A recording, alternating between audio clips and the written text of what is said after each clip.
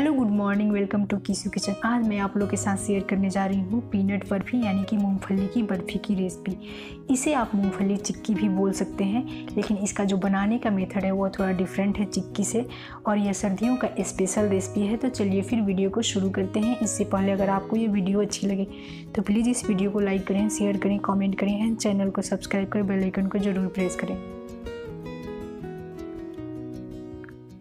बर्फ़ी बनाने के लिए सबसे पहले हम पीनट यानी कि मूंगफली को ड्राई रोस्ट करेंगे। इसके लिए हम पैन में डालेंगे मूंगफली और मीडियम फ्लेम पे हम इसको पाँच से सात मिनट के लिए रोस्ट होने देंगे।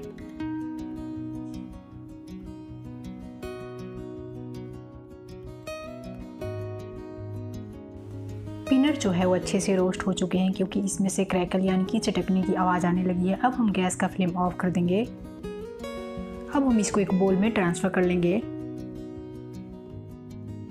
अब हम एक कॉटन का कपड़ा लेंगे और उस पर डालेंगे पीनट्स को।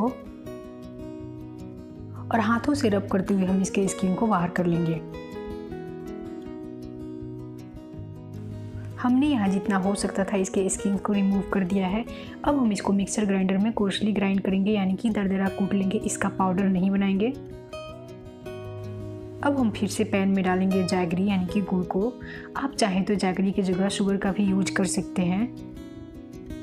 साथ ही हम इसमें डाल रहे हैं वन टेबल स्पून क्रीमी घी। आप चाहें तो घी की जगह थोड़ा सा पानी भी यूज़ कर सकते हैं। और मीडियम फ्लेम पे हम इसे मेल्ट होने देंगे। हमें गुड़ को सिर्फ़ मेल्ट करना है, इसका चाशनी नहीं बनाना है।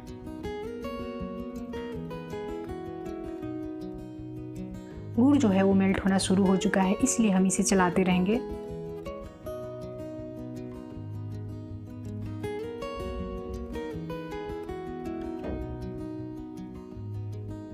तो गुड़ पूरी तरह से मेल्ट हो गया है, आप देख सकते हैं।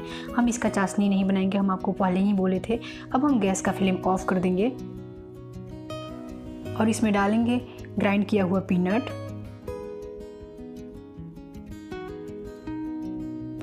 साथ ही हम इसमें डाल रहे हैं थोड़ा सा रोस्टेड सिसमे सीड्स यानी कि तिल। या ऑप्शनल आप चाहें तो स्कीप कर सकते हैं। थोड़ा सा इलायची पाउडर। और इसे मिक्स करेंगे।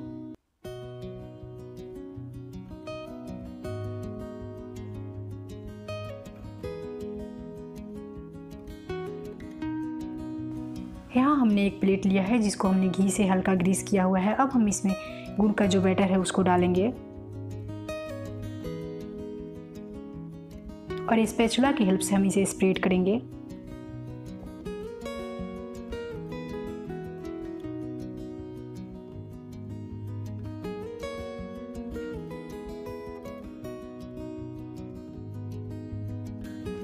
तो हमने इसे अच्छे से स्प्रेड कर दिया है। अब हम इसको 15 से 20 मिनट के लिए छोड़ देंगे ताकि ये सेट हो जाए।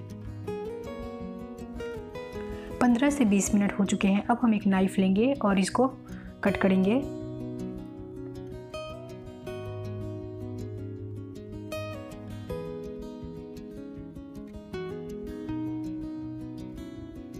तो आप देख सकते हैं, बहुत ही इजीली कट हो जा रहा है ये अच्छे से सेट हो चुका है।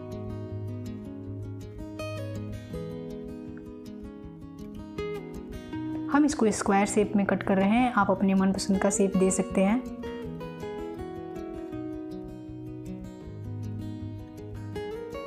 तो आप देख सकते हैं, बहुत ही सॉफ्ट हुआ है और इजली टूट भी जा रहा है।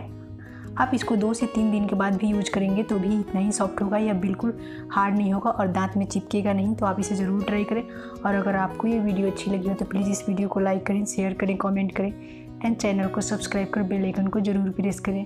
ओके बाय मिलते हैं फिर आपसे एक नेक्स्ट वीडियो में. तब तक के लिए take care thanks for watching